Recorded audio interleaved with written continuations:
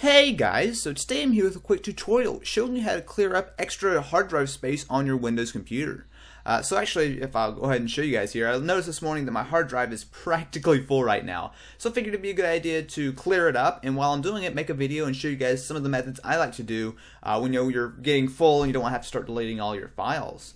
Uh, so there's the first thing I'm going to be doing is disabling hibernation mode. Now hibernation mode is a sort of in between between shutting it off and putting it to sleep that stores all the data on your RAM to the hard drive. Now this is nice it will allow you to boot up a little bit faster if say you need to you know have your computer totally off you know, need to remove the battery or something like that. Um, but in my opinion it's really not super necessary um, and of course because of the you know it stores all your data from your RAM uh, typically however, however much RAM you have on your computer is how much of a block on the hard drive it takes. So in my case I have 4 gigabytes of RAM and I'd love to have that 4 gigabytes back so it's going to be really simple.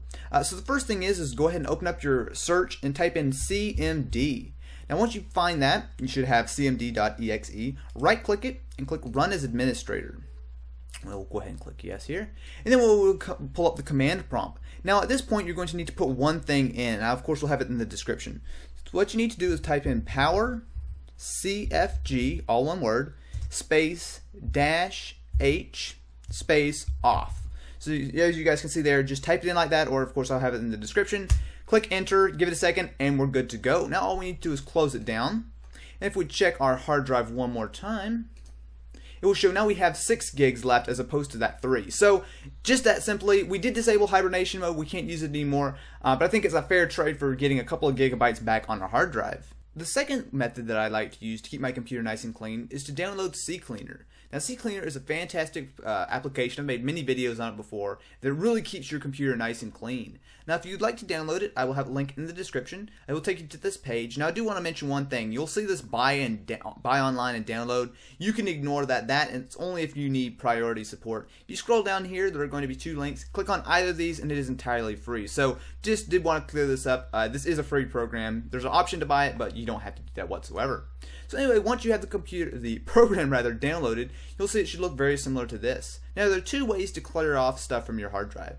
Now the first is to run the cleaner. Now what this does is it clears out extra junk on your hard drive. So for example, Internet Explorer has temporary internet files, etc., etc. Uh, there, you know, there, there's a huge thumbnail cache on Windows.